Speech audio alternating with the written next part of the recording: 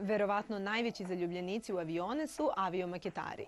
Neke od njih u Beogradu okuplja maketarski klub Oluj, koji ima 40 članova svih uzrasta, od kojih najmlađi ima samo 7 godina.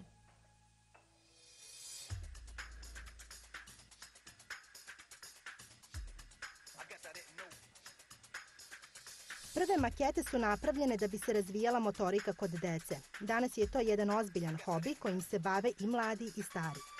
Za jedan avion potroši se meseci rada. Pa maketari su pre svega ljudi koji imaju široko jedno obrazovanje, jer nas sve interesuje i pored svega toga, mi, pored naših poslova, studija, fakulteta koje smo završili, svako od nas izučava neki određeni period. Maketarstvo je jedan hobi koji je sveobuhvatan i omogućava mnogo nekome koga to zanima.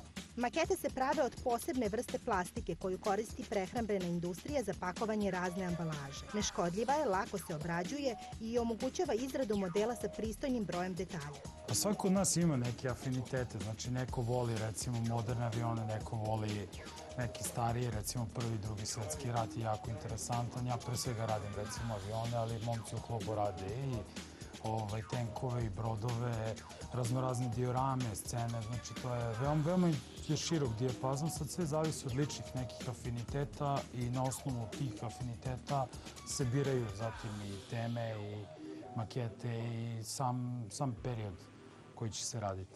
Kada se na jednom mestu, a to je obično u muzeju vazduhoplovstva, okupe svi maketari, razmenjuju se iskustva i pokazuju makete. Oni kojima strpljivost nije jača strana posebno su dobrodošli.